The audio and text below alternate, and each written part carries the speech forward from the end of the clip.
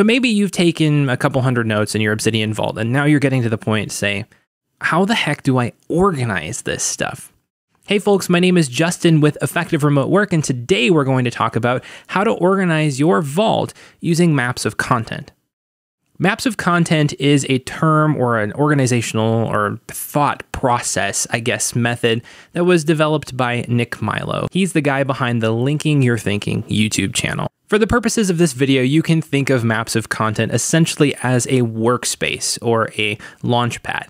It's a way to get into your notes easily just by following some links to explore them but it's also a way to structure your notes or give yourself a workspace to be able to flesh out a specific topic or idea that you are working on.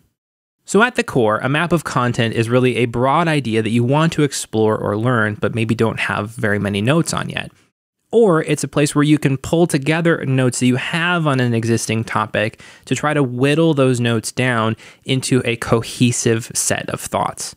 Let's dive into Obsidian so I can show you my vault and how I've been working with maps of content lately. Okay, so on the screen here, you can see that I have my dashboard note up.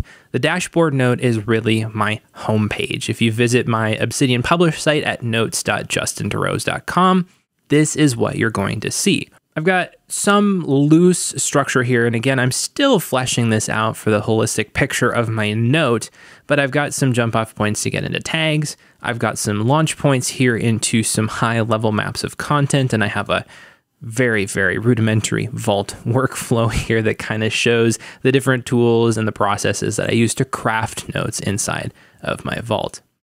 Now, if I jump into this productivity map of content, you can see this is kind of a mess. It's a work in progress. And that is one of the benefits of taking the maps of content mode of thinking toward organizing your notes. You can start off at a very high level and you can bring things up into a map of content. You can explore into them. Basically, it's a place for you to put your ideas so that you can launch into them at a later point in time. Now, what I have done here is under productivity map of content. I have created a header for key topics here. These are key topics that are related to literature notes and permanent notes that I have in my vault. Then at this point in time, I've linked all the notes that I could find that were relating to the broad subject area of productivity. This is one of the ways that you can approach a map of content. You can pull information into the map of content, and then eventually I'm going to work on sorting this out. What's relevant to this particular map of content? What's relevant to this broad idea of productivity? Is there a deeper subject area that I want to dive into, which we'll talk about in just a moment? Then I can start to whittle these notes down. I can leave the relevant notes there.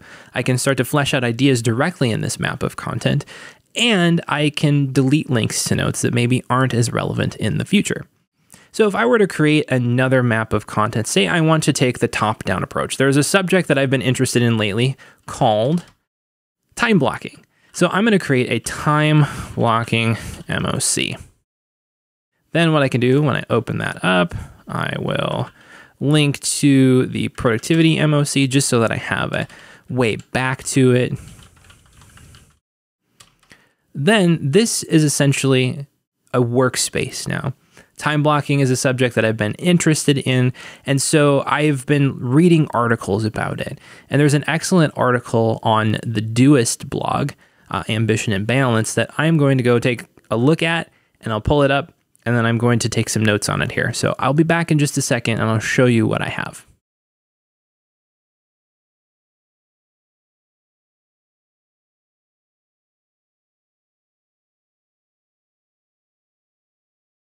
Okay, so this is really just a very, very basic start. I've got this article here, which I'm going to clip the link in here because I forgot to do that. Okay, so I've got this article on the right-hand side of the screen here, this time blocking bot guide by Doist. I've started taking some very light literature notes on it just to give a sense of how you might use a map of content to flesh out some ideas regarding a specific topic area. As you can see, I've got just a couple thoughts here. Structuring your work week can yield greater results in less time. There are three different variations of time blocking that this article talks about, task batching, day theming, and time boxing. Now, what I've done here in the map of content is I've created a link to this literature note here. Then eventually, once I flesh this literature note out and I start to flesh out some permanent notes from that, then I'll start linking those permanent notes over here as well. Then I can start to get a cohesive idea of what this subject means to me and start to whittle those notes down and here, start to flesh out the ideas in the time blocking map of content all together. Now, this might not be the only way that you want to create a map of content. There's the other way. This was the top down approach where you take a broad subject area and you want to dig into it a little bit.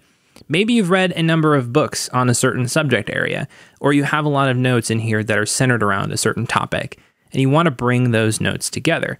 Well, there is a way to do that that's actually pretty easy inside of Obsidian, and I'm going to talk about that uh, here. So, what I'm doing is I have this creativity map of content, and there's a subject range uh, based upon the book Range by David Epstein that is really something that I am passionate about.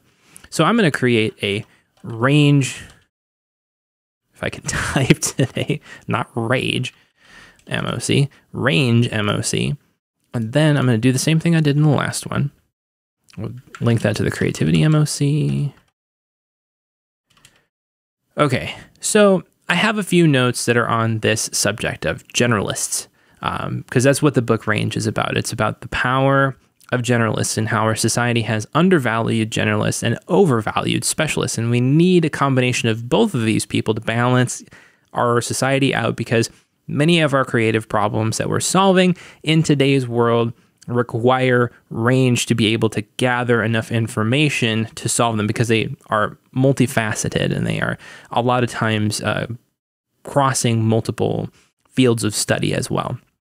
So what we can do here, and this is a fancy new feature that came out in Obsidian recently, is we can just do a search for, I think one of the topic areas that I had here for this was generalists. Okay, so yep, here it is.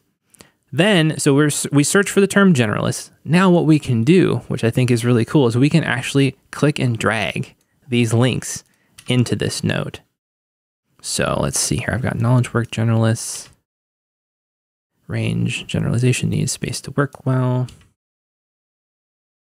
and so on. So the book Time Off, uh, which I've mentioned on this channel again uh, recently, is where a lot of this has come from too. There's a lot of overlap between range uh, the book by David Epstein, and Time Off, because there's a lot of uh, interplay within those ideas. So, what I've done here is I've just started to create links to the notes that are relevant to this map of content, the topic of range or generalism. And now, what I can do is as I build this out over time, I can let these ideas kind of I, the way Nick Milo terms it is they essentially duke it out and to try to figure out what is the most cohesive idea that belongs in this map of content. I don't have this process nailed down to a science. And in fact, I really feel like developing a map of content is something that's more exploratory in nature. There's not a science to it, there's not a formula to it, but it's really figuring out what is of interest to you and then starting to either dive into that subject area or pull the information in your vault around that subject area together and then just try to figure out what makes sense to you for how to organize it or how to think about it in your vault. Each and every one of us thinks through information differently, and therefore, the way your maps of content might look may look completely different than mine. It's really just a structural tool in your vault to help you explore ideas, either dig into ones you don't know yet, or to try to wrap your head around the ideas that you already have spent time digging into, but crystallize the information a little bit more in your vault so it's easier to access and easier to use. So, what do you think about maps of content? What do you think about organizing your vault? Are you doing something different? I would love to hear from you in the comments below. Again, make sure to subscribe if you found this video helpful. My name is Justin with Effective Remote Work. Thanks for watching, and I'll talk to you in the next one.